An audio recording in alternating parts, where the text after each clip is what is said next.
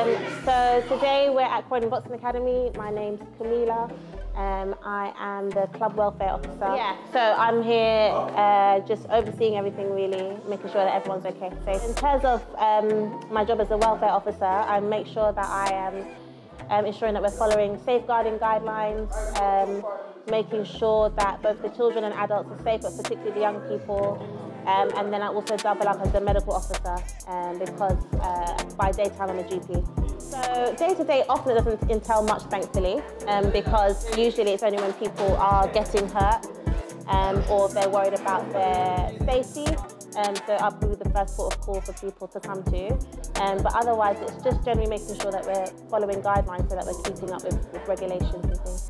So my name's Dean Kale, um, I'm from South Croydon, I'm at the Croydon Boxing Academy. Um, we're here with my son Luke um, to improve his boxing speed. I think it's, it's a great location.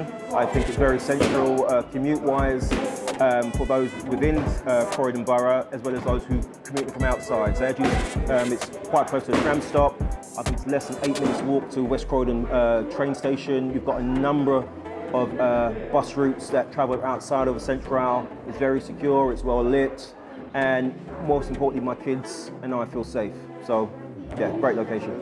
Um, the, part of the reason why we've moved to this location, it's it's it's safer for young people to come um, within Centrale Shopping Centre. It's it's got security, it's got cameras, um, so it's kind of a safe place for young people to come in. Um, parents know that they come in there as well. So it's, it's, just outside, you've got the tram stop as well. Just kind of leave on the tram, on the bus. Um, so it's a very, very good location um, going forward.